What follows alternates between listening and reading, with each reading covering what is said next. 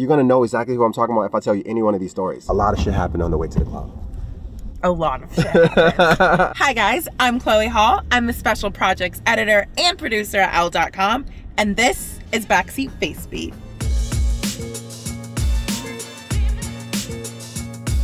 What's a backseat face beat, you ask? It's when you do your makeup so perfect in the back of a moving vehicle. It could be a plane, it could be an express train, it could be a car, whatever it is, your makeup just looks perfect. So today we called in the big guns, and not just like the big guns, like the big kahunas, the top dog, like the best in the world, bow down, etc., etc. Sir John. You may know Sir John from his work with Ashley Graham, and Iman, and of course, his work with the one and only, the leader of our free world, the greatest woman to just walk on water, Beyonce. Beyonce. Beyonce. Beyonce. Beyonce. So let's go pick him up and get the Beyonce backseat face beat.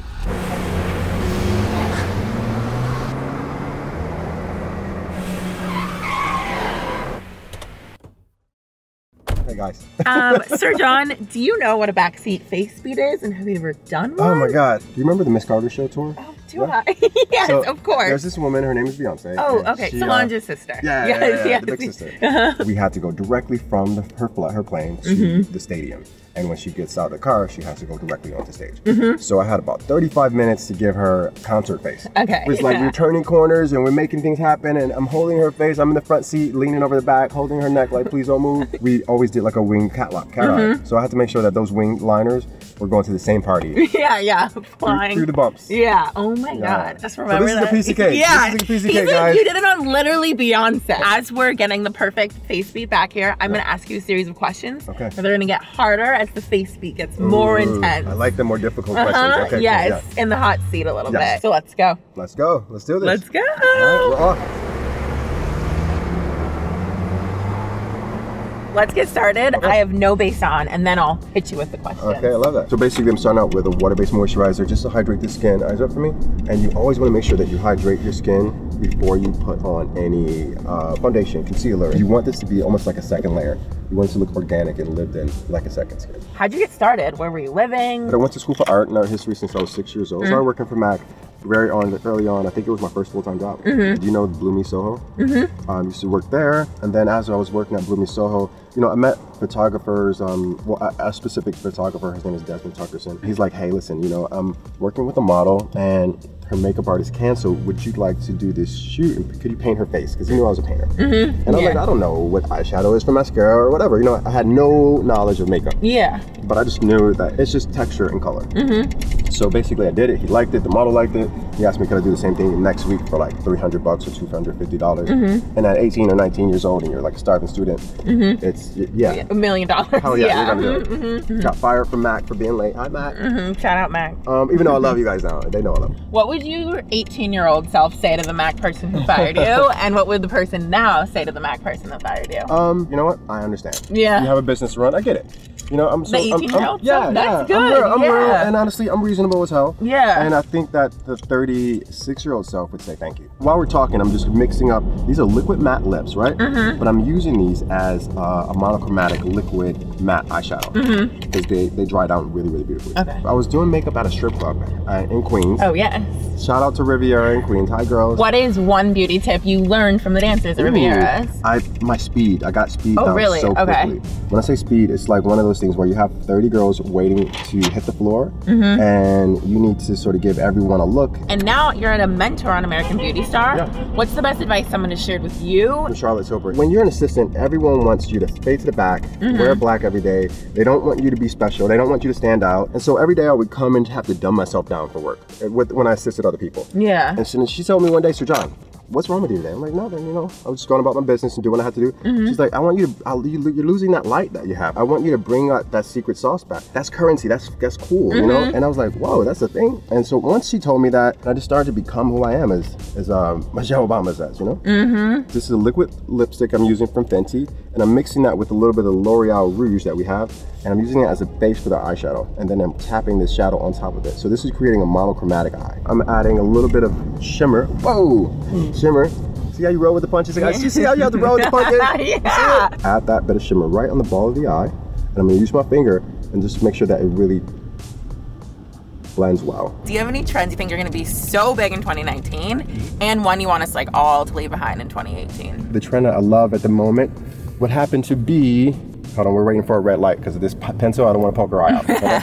I love that this ex- sense of exploration. When I say exploration, everyone's trying something new. Mm-hmm. for me? Everyone's doing something super cool, and there's a huge difference. If you see this huge disconnect from what's happening in fashion and beauty, mm-hmm. and the girls who are on Instagram, they want to look. Mm-hmm. So for me, I think the biggest trend right now is individual beauty. Looking at makeup as an emotional pick, pick me up is something that's modern and anchored in the now. It can be just something that's bringing a little bit of drama to an otherwise mundane makeup routine. Okay, speaking of beauty secrets, uh-huh. um, what is one of Tina Knowles' beauty secrets? She taught me the, the art of not using eyeshadow. Really? She doesn't like shadow. And I'm like, well, yeah, you sure you don't want to do just the basic brown? No. Mm-hmm. Skipping a step. I think it's so modern to skip a step. Take an eyeliner and make it look like you just like walk of shame liner. Yeah. With the perfect lip. yeah. That's modern. You mm-hmm. know? I love that. What's one look you created on a celebrity that you regret?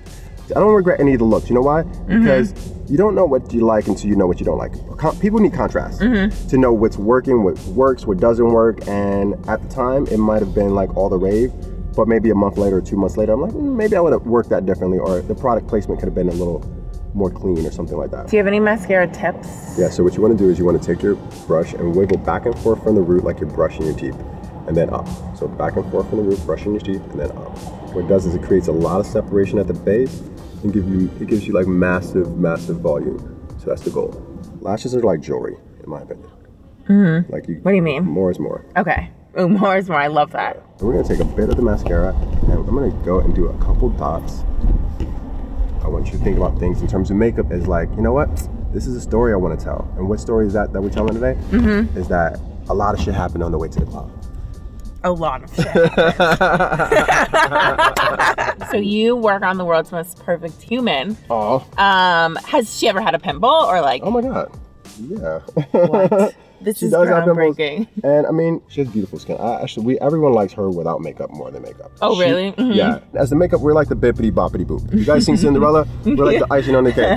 And hopefully, we have something that you know some women at home would want to translate and make over again. That's mm-hmm. the goal. What is your like mood board or your vision for like the woman who would wear this out? Like where's she headed? Riviera? Um, no, where she headed? not, not so. You know, the thing about this, you know, I, you know what I love about the Cardi B's of the world oh, is that they made a place like Riviera. When I was trying to get to Paris, when I was, I mean, Milan for Fashion Week, mm-hmm. as you know, as a young guy, I'm working at the strip club. They, mm-hmm. they put a jar, a Fashion Week jar for this guy. They was like Sir John's Fashion Week fun. Oh my And whenever God, they came yeah. back, they, put, they took their money and peeled me off dollars. No, 100%. They sent me to Europe for the first time. This isn't a strip club look, mm-hmm. but what this is, I would say, no. is like I'm leaving work. I don't know if I want to hang out with my girls, mm-hmm. but there's an event. There's not a concert, but we're gonna have a little fun, and there's gonna be pretty lighting. Mm-hmm. You don't need to name names, but can you give me some tea on like the craziest celebrity, the craziest story, backstage story, like someone, something just like so wild, everyone at home will be like, "What?" You're gonna know exactly who I'm talking about if I tell you any one of these stories. Really? Yeah. Okay. What if you mix mix up the st-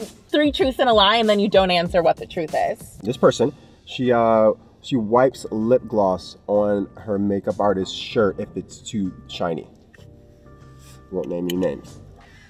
I we, you're not going to name already. No, no, no I'm not going to name any names. I'm not even going to guess, okay. but I just love this game already. Okay, this person, she doesn't want to do a do a job, and so when she doesn't want to do the job, she creates so much of a fuss on set that it's like, you know, oh that person's looking at me. I'm out. Well, that person was trying to look at me as I was changing. I'm out. Mm-hmm. And it's like, girl, no one's looking at you. no one's fucking looking yeah, at you. Yeah, yeah. So right now we're gonna go into a panel discussion for American Beauty Star. It's one of those things where it doesn't matter where you're from or what age you are. We all have a different relationship with the person in the mirror. True. So many young girls mm-hmm. who are suffering from anxiety and depression and the bullying because of this beauty industry that we're in. Mm-hmm. So you know, my goal is to sort of just break some of that up. so that's, that's what we're gonna talk about right now. mind you, this is daylight, daytime, and you have sort of a PM look on, but I think you can carry this really well. Mm. And I hope what you guys see in the mirror, not the mirror, but the uh, camera mm-hmm. is a beautifully blended application of blush. The eyes are not supposed to be perfect, guys. So these eyes are supposed to be haphazard and funky and kind of like, you know, rock star shit. Mm-hmm.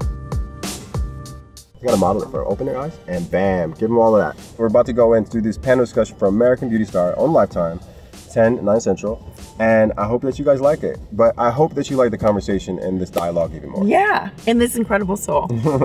okay, let's go. Let's, let's go. do this. Right, let's go. Uh, we're very late, but I'm very very, for this panel.